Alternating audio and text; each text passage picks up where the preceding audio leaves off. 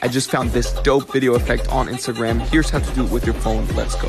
Film yourself jumping up various times, always changing the top. Open the clip in the CapCut app and at the highest point hit split. Then scroll to the next jump with the next top and at the highest point again hit split. Delete the part in between and you have your first transition. Now for the top in the first part you want a full screen and then take a screenshot.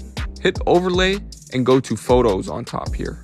Choose the screenshot that we've just taken and now it's added on top of our clip as an overlay. Scroll to cutout and then remove background. Now the person has been cut out. Go to customize cutout and now draw over everything else so that only the top is red.